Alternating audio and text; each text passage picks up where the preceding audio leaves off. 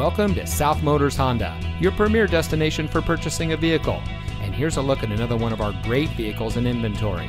And comes equipped with rear view camera, keyless entry, steering wheel controls, speed sensing steering, air conditioning, electronic stability control, rear spoiler, tire pressure monitoring system, traction control, side airbags, and has less than 35,000 miles on the odometer.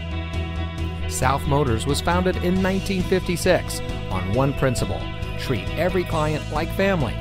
More than 60 years later, we are proud to say that we are still locally owned by the same family and we still follow that same family tradition. Our fully transparent shopping experience delivers the best up front, along with a complete vehicle history. And for additional peace of mind, we also offer a three day exchange policy and a financing program custom tailored to you. So come join the family. We're located at 16165 South Dixie Highway in Miami.